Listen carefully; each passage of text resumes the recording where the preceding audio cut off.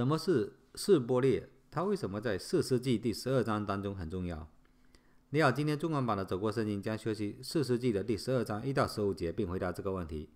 下面我们先阅读一到七节。以法莲人聚集到了北方，对耶夫他说：“你去与亚门人征战，为什么没有招我们同去呢？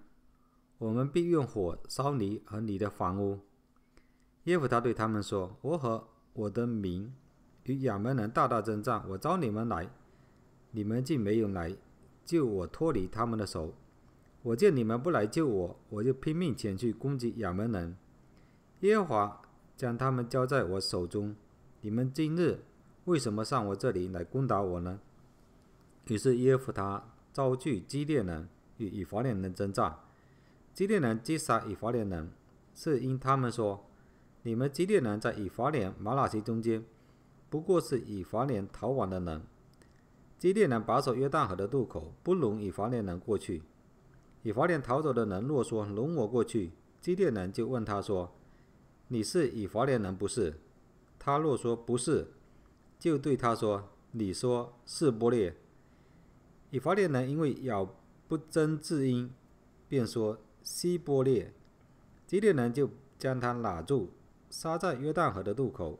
那时以法莲人被杀的有四万两千人。耶夫他做以色列的士师六年，基列人耶夫他死了，站在基列的一座城里。那么在上一次课当中，我们学习了耶夫他，因为他的誓言，就当他的女儿被终身奉献侍奉耶和华。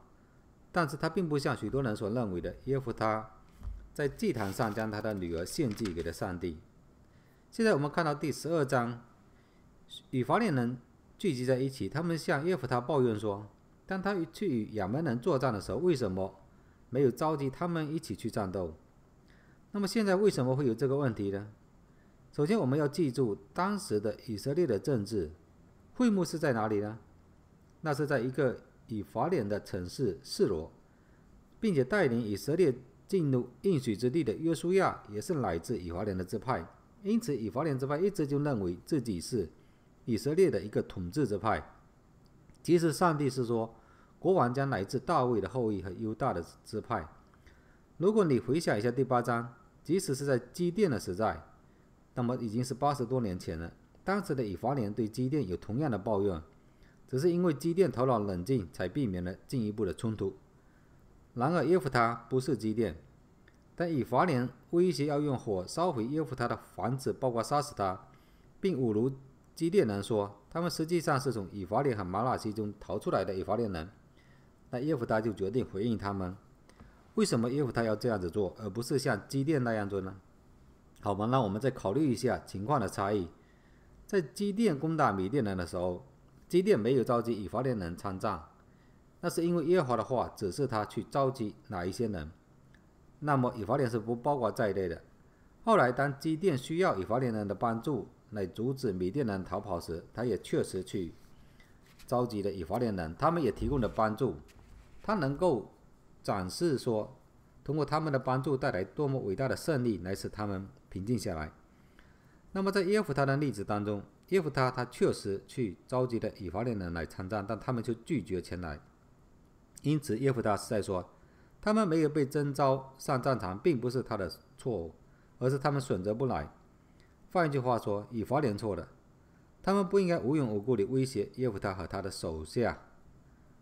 那么，因此当面对傲慢无礼的时候，耶夫他和他的部下通过在战斗中杀死了许多以法莲人来惩罚他们。那么，有一些以法莲人就逃脱了战斗，想要回约旦河的西岸。那么，基列呢就在约旦河口的渡口设卡检查，因为并不是说每一个要过这河的人都是以法莲人。那么，基列人怎么能区分其他人和以法莲的逃亡者呢？他们就拿每一个人要过河的说示波列，因为以法莲人无法正确的发这个音，他们会发成说希伯列。通过这一个来区分以法莲人，之后不让他们来处死掉。那么总共有四万两千名的以法莲人被杀了。之后耶夫他做以色列的四十六年，那么这大约就到了公元前一千零九十四年。下面我们继续阅读第十二章的八到十五节。耶弗他以后有伯利恒人以比赞做以色列的士师，他有三十个儿子，三十个女儿，女儿都嫁出去了。他给众子从外乡娶了三十个媳妇。他做以色列的士师七年。以比赞死了，站在伯利恒。以比赞之后，有西布伦人以伦做了以色列的士师十年。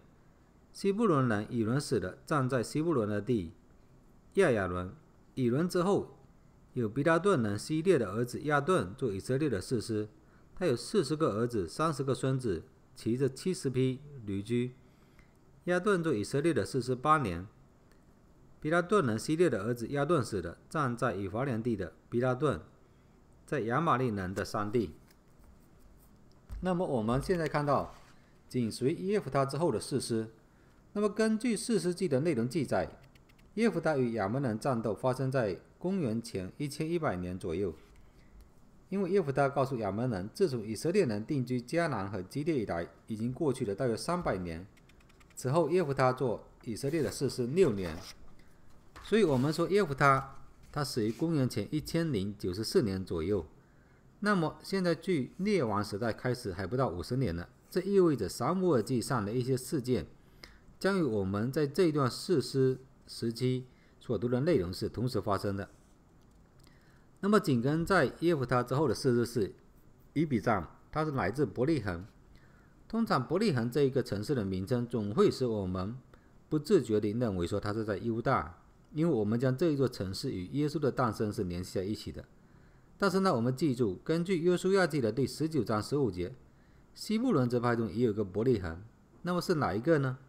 我是更倾向于相信这一个的是西布伦的伯利恒，为什么呢？有几个原因。当我们谈论犹大的伯利恒时，当读者有必要知道我们谈论的是哪一个伯利恒，我们通常都会这样子去称呼说犹大的伯利恒。第二个是本节中的其他两位士师也将在以色列的北部进行审判，所以说以比上很可能也是在北部的城市进行的。第三，我们将在第十三章和第十六章中看到，这个时候在以色列的南部和菲利斯人之间发生了战斗，所以说如果以比站在南部，那么我们会预料到这一点应该会被提及。那么至于关于以比站的其他信息，我们唯一知道的是他有三十个儿子和三十个女儿，他做以色列的四十七年。那么所以时间就大约到了公元前一千零八十七年。以比站之后是西布伦人以伦，他做以色列的四十十年，也没有其他更多的信息。那么时间就到了公元前一千零七十七年左右。最后我们就看到了比拉顿人亚顿做以色列的士师，关于亚顿也没有其他的。太多信息，那么时间就到了公元前一千零七十年左右，这将是我们在本书中时间线的一个结束，因为苍孙的故事将会发生在这一段的时间之内，并且很可能在亚顿成为以法莲四师之前就结束了。